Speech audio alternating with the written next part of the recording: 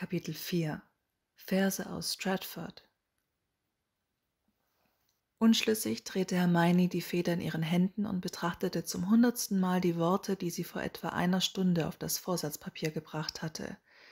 Seitdem wartete sie mit einem mulmigen Gefühl im Bauch auf die Antwort, die nicht kommen wollte. Hatte sie den Fremden mit ihren Worten beleidigt? Sie hatte sich dafür entschieden, den verschlüsselten Versen eine herausfordernde Antwort entgegenzusetzen, eine, die die Haltung ihres Gegenübers direkt kritisierte, denn nur so, so sagte sie sich, hatte sie eine Chance, mehr über ihn herauszufinden. Es musste ein Vorwurf darin liegen oder eine Lehre, die Worte mussten treffen. Aus diesem Grund leuchteten nun erneut Verse von William Shakespeare in frischer Tinte auf dem Papier. To thine own self be true, and it must follow as the night the day, thou canst not then be false to any man. Dieser Auszug aus dem Hamlet verfolgte sie bereits seit ihrer Kindheit. Die Worte erschienen ihr tröstlich, sie schienen einen kleinen Hoffnungsschimmer zu erhalten, die Hoffnung, dass es noch Menschen gab, die ehrlich blieben und nicht nur sich selbst die Treue hielten. Doch gleichzeitig bereitete ihr das uralte Zitat auch Sorgen, Sie hatte das Gefühl, etwas übersehen zu haben, etwas Entscheidendes.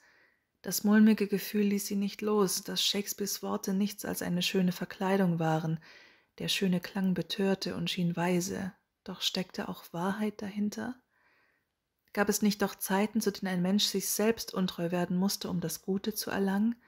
Doch konnte er dann glücklich sein? Hermione wusste, dass sie sich zu viele Gedanken machte, doch ihre Zweifel vertieften sich, als sie die Antwort las, die in diesem Moment auf dem Papier erschien. Richte nicht, bevor du urteilen kannst. Auch Shakespeare war nicht allwissend.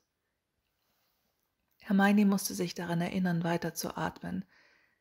War das Schuld, die sie empfand, gegenüber einem völlig Fremden, der ihr seine Identität vorenthielt, möglicherweise ein Todesser war? Hermione konnte sich keinen so wortgewandten Todesser vorstellen. Rohe Gewalt und Poesie, das war, als würde Norbert, der norwegische Stachelbuckel, sich bei seinem zerstörten Teddybären entschuldigen. Sie wusste nicht, was sie entgegnen sollte. Sich entschuldigen, rechtfertigen, weiterhin auf Angriff gehen oder lieber den Rückzug einleiten.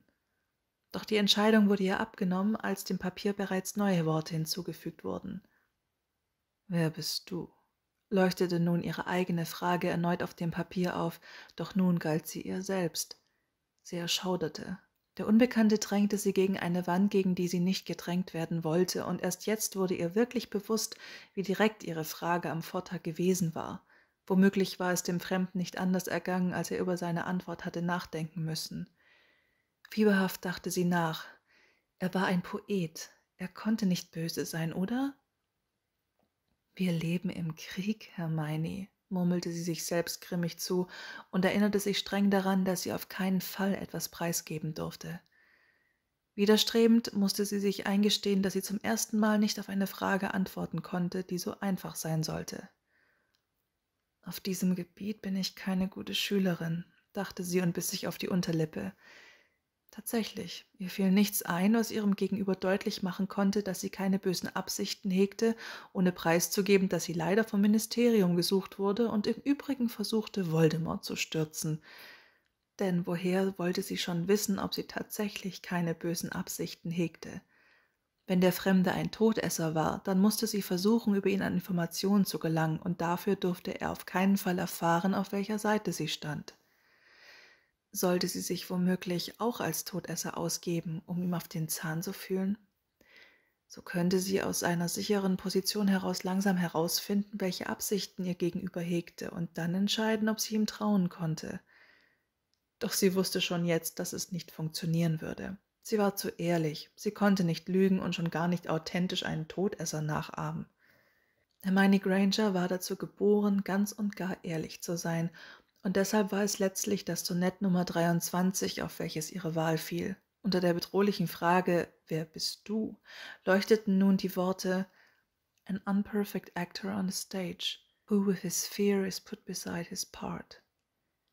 Sie hatte den ersten Vers ein wenig auseinanderreißen müssen, und es wurmte sie, dass dadurch das Metrum zerstört wurde.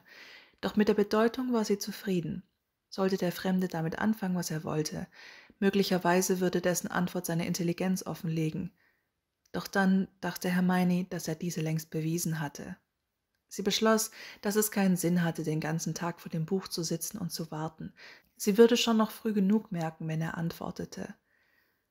Während sie die Treppe zur Eingangshalle hinunterstieg, musste sie erneut an den Auszug aus dem Sonett denken, den sie gewählt hatte, und ihr fiel eine Parallele auf, die sie nicht beabsichtigt hatte.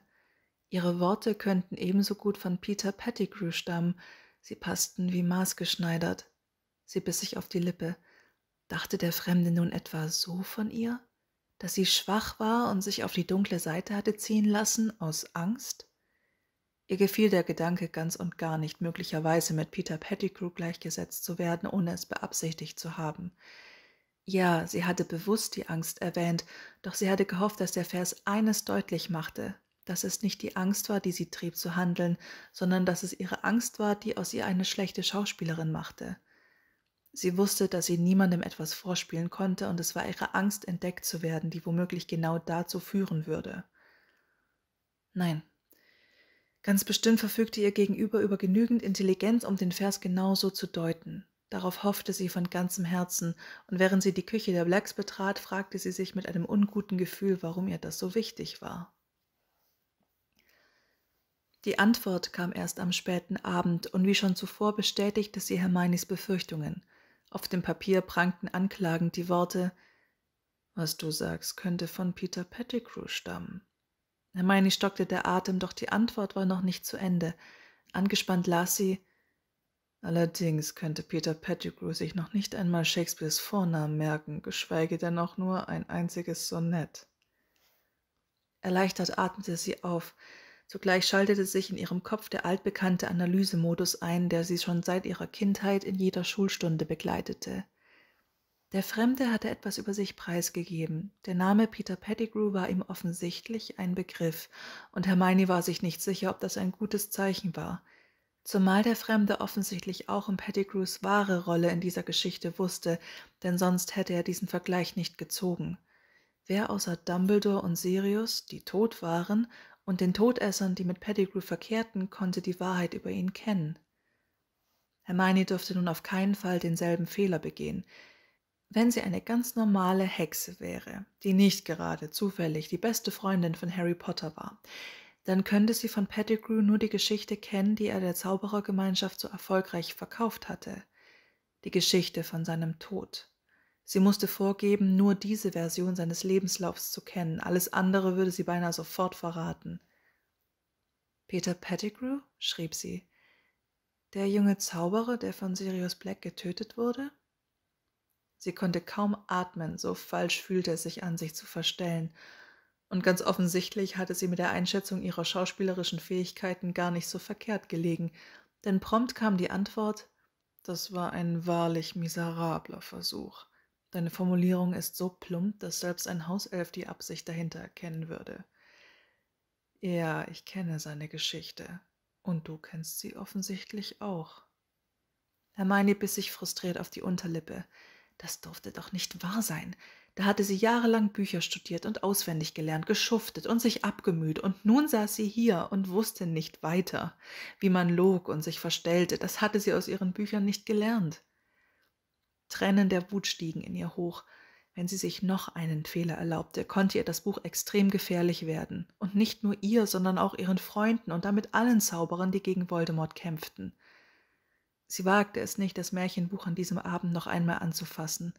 Mit zitternden Fingern schob sie Feder und Tinte zurück in ihr Perlentäschchen und kroch in ihren Schlafsack. Auch in dieser Nacht hatte Hermione große Schwierigkeiten, in den Schlaf zu finden.